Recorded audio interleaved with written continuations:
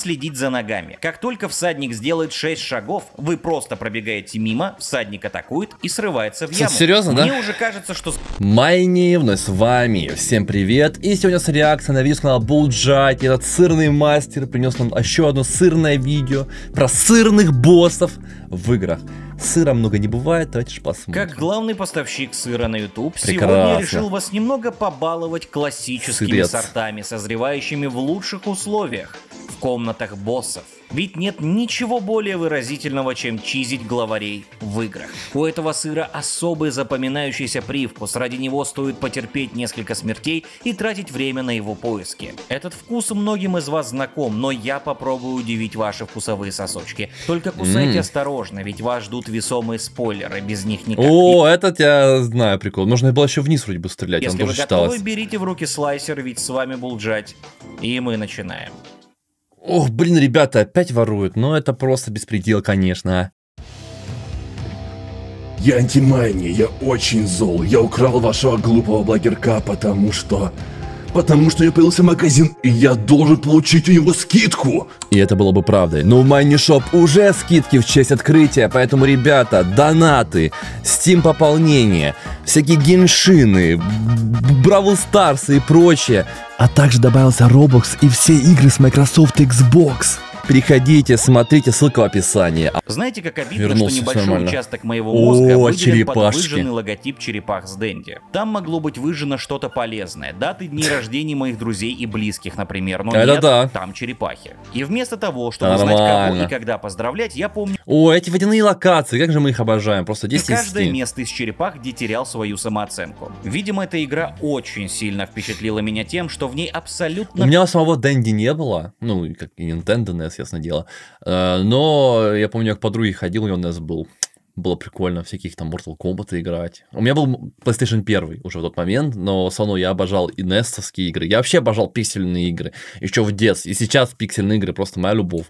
Все. Undertale, Deltarune, привет. Каждая мелочь в ней, вплоть до банального количества врагов на экране, выполнена не так. Все здесь является мусором, попавшим под века и приносит дискомфорт. Я не знаю, что сложнее. Пройти все Dark Souls подряд или перепрыгнуть яму в этой игре. Про черепах я упоминал уже не раз, и многие из вас знают про мои взаимоотношения с этой игрой, но я не могу ее отпустить. Каждый раз, когда она врывается в поле моего восприятия, а она делает это, я не знаю, как ее остановить, я понимаю, что мои худшие воспоминания об этой игре были положительнее, чем то, что есть на самом деле. Недавно я узнал про финального босса этой игры. Конечно, для меня это было новостью, я до него не доходил, как и 99% игроков по всему миру, и у меня не было причин интересоваться, что же я пропустил. Мы все знали, что это Шредер, потому что ну а кто еще, и мы представляли, что победили его. Мы использовали любые методы самовнушения, лишь бы успокоиться и больше эту игру не Главное трогать. было рассказать друзьям, что вы победили такие, да, реально. И ты придумаешь какую-то историю, потому что его никто не побеждал. Такой, нормально, Ведь несмотря нормально. на то, Классика. что эта игра создавалась без учета того, что в нее будут играть люди, она ощущалась проходимой. И это самое неприятное, что делает с тобой эта игра. Она заставляет думать, что это не она достаточно плоха, а ты недостаточно хорош, и кто-то не смог этого выдержать. Ведь нашлись не только те, кто игру просто прошел, но и те, кто, оказывается, ее заспидранил. Я отказываюсь верить, что Безумцы. это могли сделать люди. Это невозможно. Миллионы лет эволюции человека противоречат что это за прохождению этой игры. полурак, Точно, это правительство с проектом Суперсолдат. Кто-то. Только они могли пробежать эту игру за 17 минут, и надо бы их, наверное, поблагодарить. Ведь мы наконец-то узнали, что нас ждет в конце черепах. Как и предполагалось, это Шредер. И как и все в этой игре, он дико неправильный. Он не соответствует этой игре вообще. Он слишком его- простой, он оскорбительный. А, реально слишком простой. После всех тех мучений, которые вы прошли, получать в качестве финального босса вот это недоразумение, с одной стороны, конечно, слава богу, но с другой стороны разочаровывает. Ну Вот да, есть, что-то так он скажем, изи. босс на первом уровне. Ниндзя, который отлетает с двух ударов. Это самый рядовой противник. Он ничем не отличается от других. Он просто выделен в качестве босса по непонятным причинам. Шредер точно такой же, только ударов требует больше. Любая яма в этой игре И он типа лучше как Шредер. она опаснее, чем Шредер. Из любой точки локации его можно закидать фактически любыми поворапами, Какой которые у вас точно будут на момент сражения, и он ничего не Вот это сможет сложно. вам сделать. Вы можете Невозможно, невероятно. С платформы, встать на ее край и просто ритмично бить, пока он пытается до вас допрыгнуть. В теории любая Прекрасно. тактика, которую вы Это выберете, чистая битва с големом в Майнкрафте, когда ты строишь этот столб с трех блоков и бьешь его. Он настолько Топором. прост. Но самое смешное, что Шреддера еще и чизят, и это самый унизительный чиз в истории. Если сразу А после того, был? как вы зашли в комнату к Шреддеру, спрыгнуть с платформы, Шреддер спрыгнет за вами по такой широкой параболе, что в 100% случаев попадет в угол. И если просто встать рядом с местом его приземления, вы победили. Поскольку вы рядом, Шреддер будет пытаться ударить вас рукой, но его хитбоксы настолько криво прописаны, что он не дотягивается. И он будет махать своими то есть можно просто коротенькими его бить и ручонками перед вашим лицом до бесконечности. Вы можете продолжать это сколько угодно, материть его и высказывать все, что думаете Это о его прекрасно. мамаше, пока вы не решитесь над ним сжалиться и не нанести финальный удар. И сразу после этого Сплинтер наконец-то может превратиться из крысы обратно в человека. По непонятным причинам. Он всегда мог это делать? Шреддер уникальный Да? пример сырного босса. Ведь чизят его не потому, что надо, а чтобы поиздеваться. Обычно Игра сыр издевалась. от безнадёги, когда босс настолько злобный, настолько надоедливый, что не оставляет вам другого выбора. Или если это, например, он. Босс, мать его, О, вертолет. Just Cause 3 вертолеты. очень постироничная игра. Ты ни за что не поймешь, как она хочет, чтобы к ней относились. С одной стороны, она с серьезным лицом говорит тебе о повстанцах, мести, свободе и авторитарных режимах, спонсируемых освободителями. С другой стороны, ты запускаешь коров в воздух, приклеивая к их активные двигатели. Несмотря на то, что эта игра средняя по многим Прекрасно, параметрам, она прекрасно. бескорыстно дарит игроку кучу инструментов для увеселения. Это Одни чисто только фан. тросы показывают, что бы случилось, если бы демократию несли любопытные психопаты. Использовать машины как гранаты — это самое мелкое, что вы можете здесь сделать. Чем больше добрых дел ты сделаешь, чем больше людей ты спасешь от злобной тирании, тем более опасным и безумным ты будешь для этих же самых людей. Ведь у тебя открывается все больше приспособлений, запрещенных для использования в принципе. Ты можешь рассекать на танке с нитроускорителем и бахнуть ядерку из ракетницы просто потому, что она есть А, в твоем доступе. ну почему бы и Несмотря нет, на ну, как бы весь да. этот хаос, на количество взрывов, происходящих Ну, за секунду, и безумные способы, которыми ты эти взрывы получаешь, встретить в финале Прекрасно. босса вертолета немного странно, как по мне. Ты ожидаешь чего-нибудь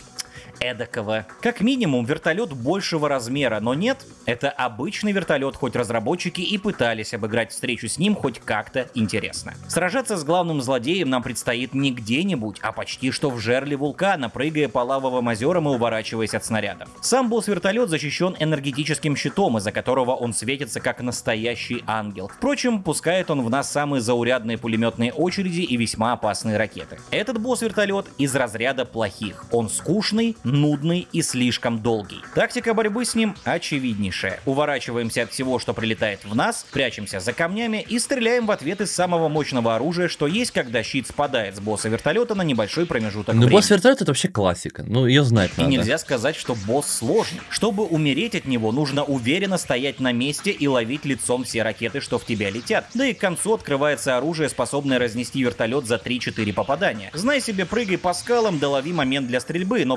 подождите-ка, у меня же есть трос. Прикрепленный к чему-либо трос в этой игре может притягивать вещи друг к другу или к земле. И если просто Да ну нет, просто прикрепить трос к нему и к земле, и он все. соединить один конец троса к лаве, а второй к вертолету, он просто влетит в нее и взорвется в дребезге. И это вообще никак не штрафуется. Похоже, разработчики прибегли к помощи босса вертолета в самый Это последний просто- момент, потому что не смогли придумать ничего лучше. Это просто нормально. До использования троса настолько легко додуматься, что ты начинаешь гадать, а не очередная ли это постерония. Ну то есть, вы можете пройти финального босса меньше, чем за 15 секунд. И вам не нужна ядерная Меньше, боеголовка, ракеты, прилетающие из космоса, танки. Просто веревка. Это действительно странный, но очень полезный чиз. Ведь Ну он да прекрасно. вас от нудной беготни и плохого босса вертолета. Так что пользуйтесь и не стесняйтесь. Даже несмотря на то, что это очень дешевый сыр. Удивительно, что разработчики его вообще оставили. Он слишком очевидный, Ну, слишком мне кажется, они его поэтому и оставили, потому что он прекрасен. Ну, он, не знаю, мне нравится, это прекрасный из-за чего теряется его вкус. Чисто А вот когда ты находишь сыр в отчаянии, вот тогда ты получаешь более качественные сорта сыра. Серия привет. Crash Bandicoot очень легко может Ох, тебя выжить. Crash. Для милого и Ну, Crash Bandicoot просто может заставить тебя ввестись э, в грусть, печаль, уныние, потому что эта игра на самом деле не прощает ничего, она сложная, очень сложная. позитивного персонажа рыжий лисенок слишком хорошо умеет держать все ваше тело в напряжении. Играть в Крэша то же самое, как стоять перед человеком, который в любую секунду может ударить вас между ног, и вы об этом знаете. Любое лишнее движение мышцой и больше никакого будука. Неподготовленный игрок вполне может сорвать себе нервы и горло из-за непонимания, как игра с такой милой и цветастой графикой может быть настолько карающей за любую ошибку. Удивительно, А что я в в детстве играл. по сравнению со всей остальной игрой относительно легки. У большинства из них очевидные паттерны атак, которые повторяются из раза в раз и которые легко предугадать. Это будет В читинг, которым стать типа в углу, этом-то и типа там Может где быть, львы. они и просты, но стоит вам сбить концентрацию всего на секунду, и вы теряетесь в пространстве. Ритм сражения нарушается, пульс учащается, и вы начинаете делать еще больше глупых ошибок. Ну да, паника, паника она такая. искать самые оптимальные способы победы над боссом, и порой они могут быть весьма неожиданными. Тини Тайгер из Крэша О, ну да, я говорю, просто стать начальных боссов.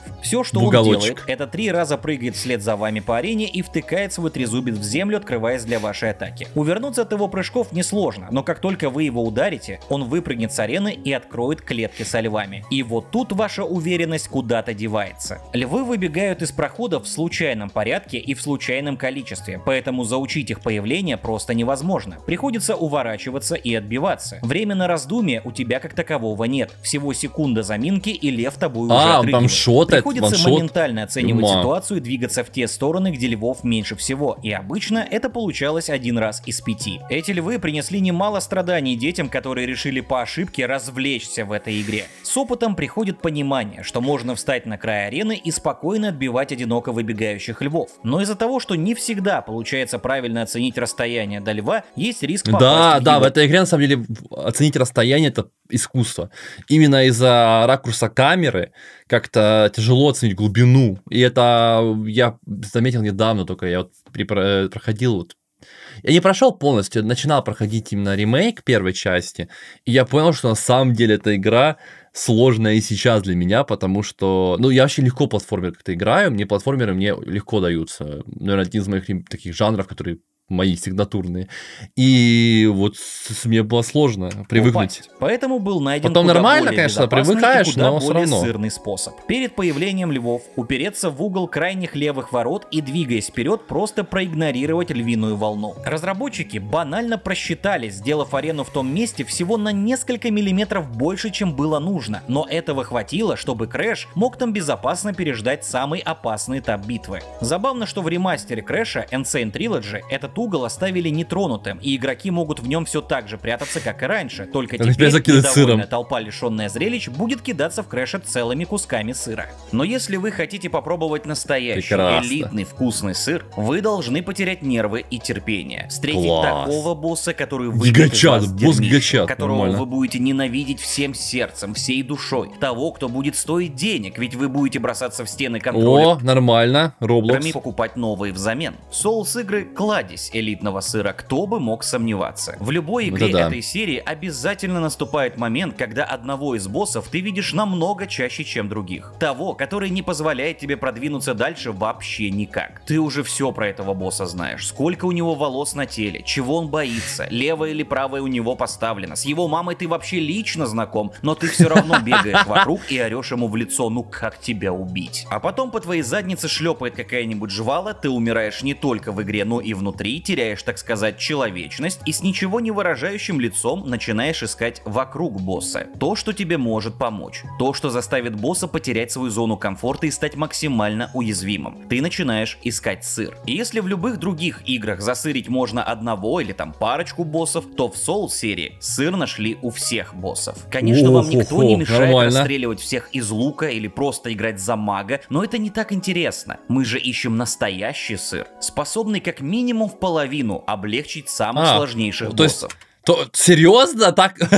Даже Нормально. Арштейна и Смолга. Эти двое в представлении не нуждаются. Они ответ на вопрос, как выглядят проктологи в темном фэнтези. Люди бросали Dark Souls из-за простого описания этих боссов от других игроков. Ведь какой смысл проходить Чё дальше, если Арштейн Чё и Смолг ждут ваши ответствия, и это награда Слендермен? за ваши труды? У них разный мувсет, у них разная скорость. Они могут достать вас в любом месте на арене, и они не очень-то и позволяют себя бить, открываясь лишь в очень редкие моменты. В вы уже будете истощены морально и физически, убив лишь одного из них. При этом второй поглотит силу первого и станет сильнее, так что легче бой во второй фазе явно не становится. И когда Ну, Арштейн отлично. и Смоук впервые падут перед вашим упорством, захочется буквально лечь на пол и отдышаться, улыбаясь куда-то в потолок, потому что плакать. эмоции и адреналин тебя переполняют. Это, конечно, все приятно и правильно, но после 50-й неудачной попытки возможность полностью пропустить первую фазу боя без каких-либо рисков становится очень уж соблазнительной. Все, что вам нужно сделать для начала, убить противников перед ареной с боссом, оставив только Серебряного Рыцаря, которого мы будем грязно использовать. Его, как Ага. дурачка, следует заманить к туманному барьеру, сделать репост, парировав его атаку, и через анимацию частично просочиться в комнату Карштейну и Смоугу, чтобы игра решила, будто вы начали битву. С первого раза может не получиться, но как только на фоне завоют мужики, а на экране во. покажется хп боссов, нужно просто пробежаться до ближайшего костра и отдохнуть. После этого, зайдя на арену, вы обнаружите, что Арнштейн и Смоук застыли и не обращают на ваши атаки совершенно Серьезно? никакого внимания. Тем самым вы можете абсолютно спокойно убить одного из них и свеженьким войти во вторую фазу босса. Та же схема, кстати говоря, работает и с горгульями. Но если вдруг ваше самоуважение и честь не позволяют использовать сыр против Арштейна и Смолга, то не расстраивайтесь, у меня есть для вас вариант.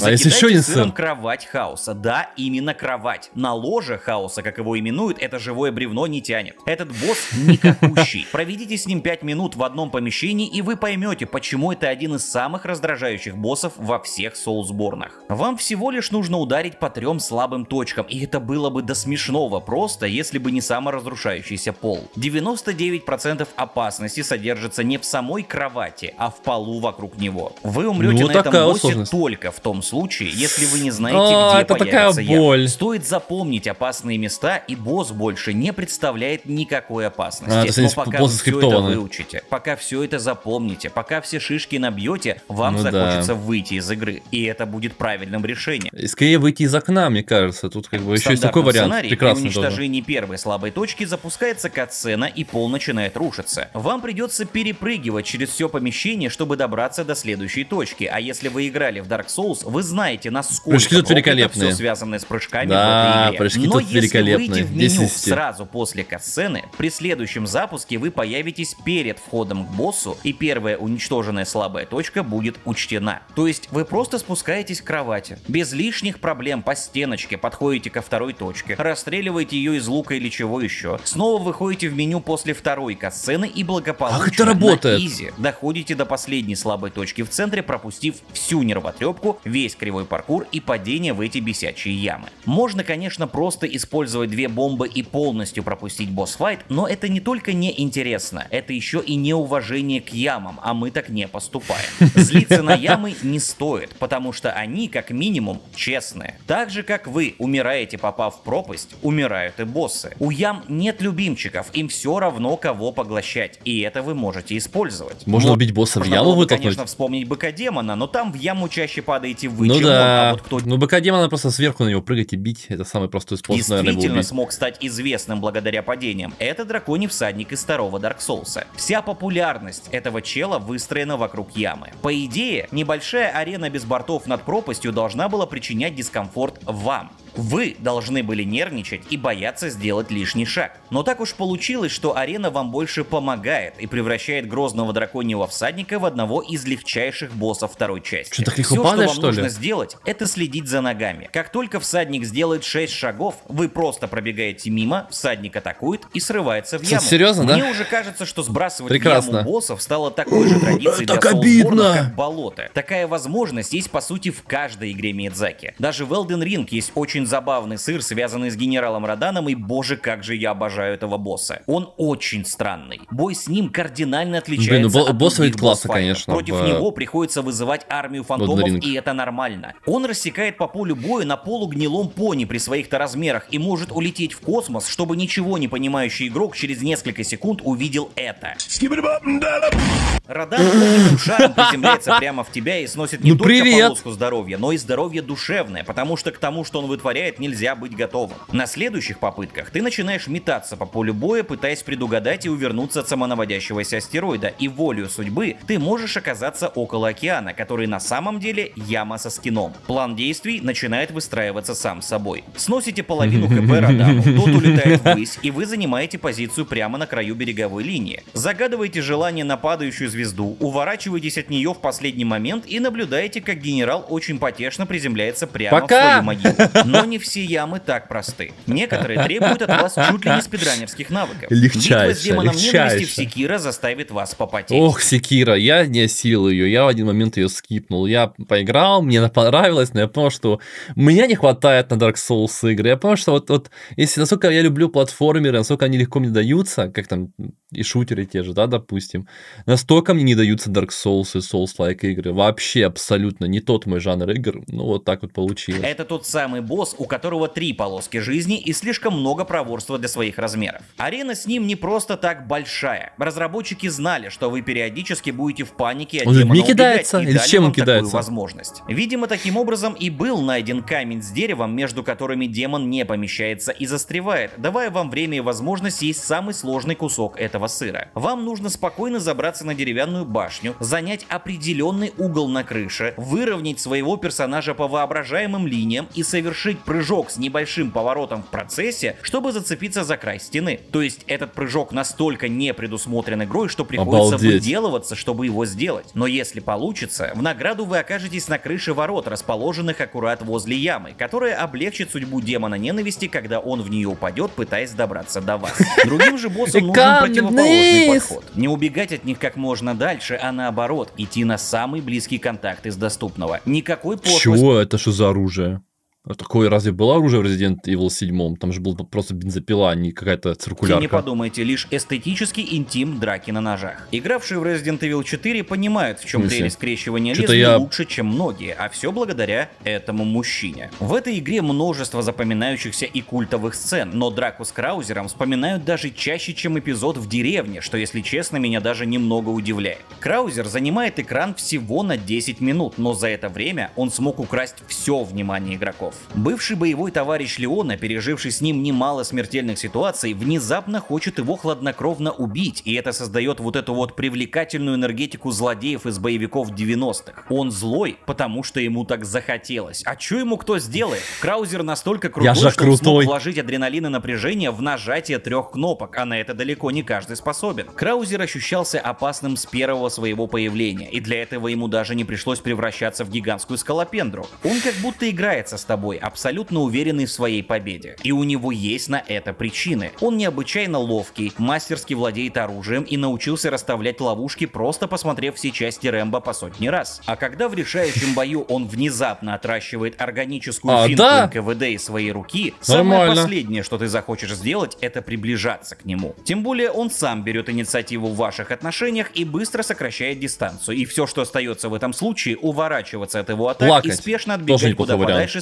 стреляя ему по ногам. Применять на полном серьезе нож против Краузера кажется абсолютно тупейшим способом самоубийца. К нему даже подойти сложно. Ты только делаешь шаг, а он уже улетел тремя сальтухами на другой конец уровня. Но, как оказалось, нож это самое эффективное оружие против этого босса. И не только потому, это что нож, работает? как и во многих других играх, обладает повышенным уроном, но он еще и стагерит Краузера после каждого удара, а это компенсирует все риски и все неудобства использования ножа. Зажать Краузера в угол будет самой сложной задачей. Он слишком юркий и будет махать ногами у вашего носа. Всё? Но когда у вас это получится, его просто нужно спокойно и методично почикать под его раненые стоны, игнорируя всплывающие на экране квиктайм ивенты. Ведь он не сможет вам ничего противопоставить. Он будет падать на колени и безуспешно пытаться встать. Иронично, что в финальный акт этой затяжной битвы с Краузером разработчики добавили трехминутный таймер, думая, что вы будете нервничать, торопиться и допускать ошибки, теряя патроны и находясь под постоянным давлением ударов босса. Но просто используя нож, Краузера можно пройти буквально за 10 секунд. Интересно, знали ли разработчики Resident Evil 4, насколько убийственным они сделали нож? Им же можно легко порезать не только Краузера, но и финального босса. Подожди, то есть финаль... э, босс... В любых боссов он стагерит, это серьезно? дополнительным средствам, а Чего? это уже серьезно. С другой стороны, чтобы использовать нож, нужен какой-никакой навык, смелость и понимание игры, поэтому разработчики могли и не заметить, что нож состоит из сыра. Но иногда сыр настолько очевиден, настолько прост, доступен и ошеломляюще эффективен, что ты начинаешь гадать, этот сыр здесь намеренно или разработчики вообще не понимали, что делали. В дополнение к Skyrim Стражи Skyrim это вообще сыр, блин, это просто игра про сыр. Расцвета нас сталкивали с Викарием Вертуром, главный А, снеж...